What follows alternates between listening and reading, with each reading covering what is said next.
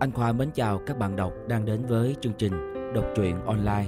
Và ngày hôm nay, anh Khoa rất vui được giới thiệu thể loại truyện ngôn tình, đam mỹ với truyện đọc Thượng ẩn phần 2 của tác giả Sài Cây Đảng, nhóm biên dịch, web truyện online, nguồn dịch Phương Anh, Nguyên Anh với chương 23 Huyên náo đến bất diệt nhạc hồ. Cố Hải cau mày, ngoài mặt như đang chăm chú xem văn kiện, nhưng lòng không biết đã bay đến nơi đâu. Mình với Bạch Lạc Nhân rút cuộc, tại sao lại như vậy? Mình bên này cũng đã hủy hôn, cậu ta bên kia cũng đã chia tay, mọi hiểu lầm cũng đã hóa giải. Đáng lẽ giờ phải đang ở cạnh nhau mới đúng. Quay đầu nhớ lại, năm đó mình tỏ tình, cậu ấy cũng không nói rõ tiếp tục hay dừng lại. Thật không rõ ràng, làm cho người ta trong lòng khó chịu. Cô Hải đi tới, đi lui trong văn phòng hai vòng, trong lòng suy nghĩ làm cách nào có thể nói chuyện này rõ ràng với Bạch Lạc Nhân mà vẫn không phải hạ mình. Trăm ngàn lần không thể tiếp tục giảm lên vết xe đổ. Cô Hải vẫn cho rằng việc thổ lộ lỗ mãn năm đó chính là một nét bút hỏng. Đến tận hai năm sau, hắn vẫn không thoát khỏi hình tượng một kẻ lỗ mãn. Hắn nghĩ rằng mình bị rơi vào địa vị xấu trong chuyện tình cảm như vậy là bởi vì lần thổ lộ đó đã để lại mầm móng tai họa. Lần này nhất định phải hành động thật cẩn thận mới được. Đi tới, đi lui, cô Hải liền đi đến cửa sổ, đứng một chốc đã nhìn thấy xe của Bạch Lạc Nhân đang chạy tới. Cô Hải cố gắng bình tĩnh, trong lòng dâng lên từng đợt sóng lớn, từ đầu đến chân, tất cả tế bào dường như đang gào thét, không còn một bộ dáng lạnh lùng như cũ, vẻ mặt tỏa sáng từ thang máy đi ra. Nhân viên công ty, ai nấy đều ngẩn người, đều là loại biểu tình khiến người ta kinh hãi. Tổng giám đốc hôm nay bị làm sao vậy?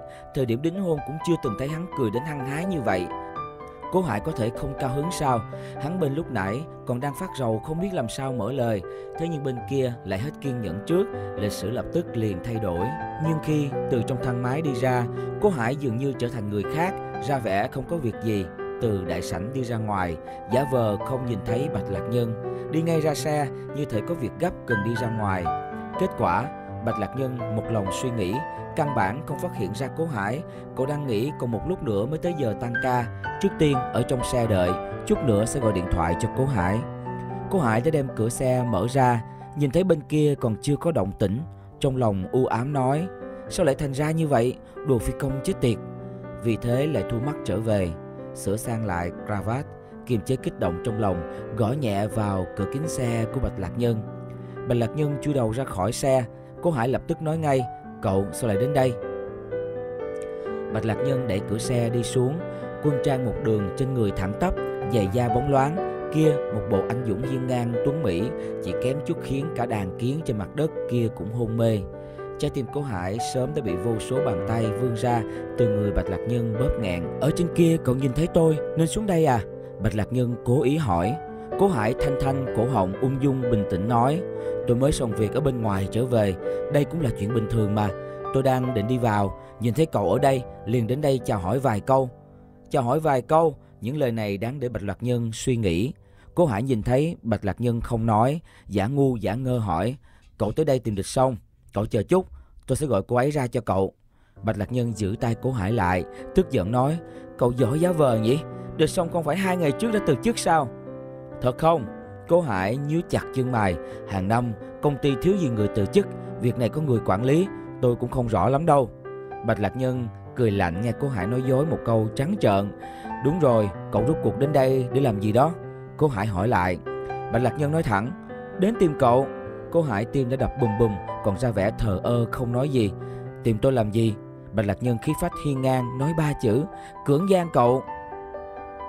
Cố Hải nhất thời lùi ra sau một bước, chỉ vào óc Bạch Lạc Nhân chất vấn nói: "Lưu manh, cậu từ đâu đến?" Bạch Lạc Nhân đem ngón tay Cố Hải bỏ xuống dưới, còn bày đặt ra vẻ, ngày đó buổi tối tại đầm lầy, ai đã lén lút hôn tôi một cái, đừng có cho là tôi không biết nha. Cố Hải cắn môi nói: "Còn nói hưu nói vượng tôi sẽ kêu người đó, bảo vệ đem cái tên lưu manh này xử lý cho tôi."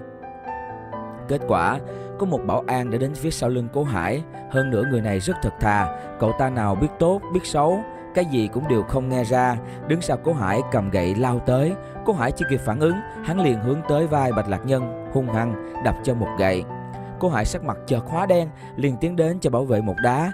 Bảo vệ văng đến cuối xe. Cô Hải kéo hắn đứng tặng thêm một đá nữa. Ai cho anh đánh cậu ta? Mặt bảo vệ đầy ủy khuất, trên đất đứng dậy. Không phải ngài bảo tôi đánh sao? Hai mắt cô Hải đỏ tươi.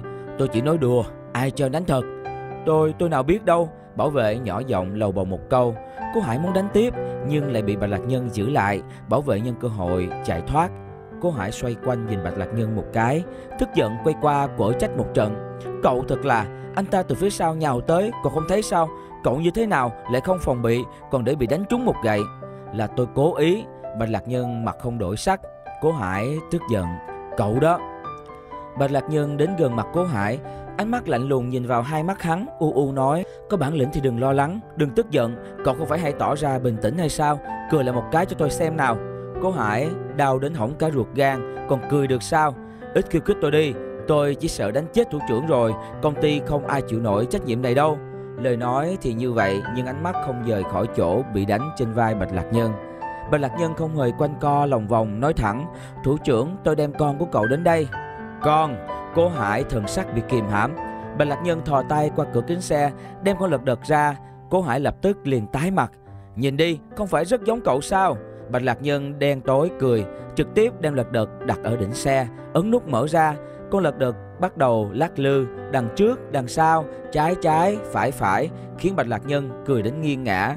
Cố Hải bật cười, hắn không phải bị con lật đật kia làm cho cười, mà chỉ đơn giản là bị phản ứng của Bạch Lạc Nhân làm cho cười. Cậu lại vì cái này mà cười như vậy à? Năm đó tôi trên người cậu đã vất vả cày cấy bao nhiêu, Làm cậu thích đến kêu ngao ngao, Xong chuyện cậu cũng chưa bao giờ cười nói với tôi như vậy. Cầm đi, Bạch Lạc Nhân nhét vào cố hải trong tay. Và thưa quý vị, Chúng ta vừa nghe xong chương 23 Huyên náo đến bước diệt nhạc hồ Của truyện đọc thượng ẩn phần 2 Từ tác giả Sài Cây Đảng.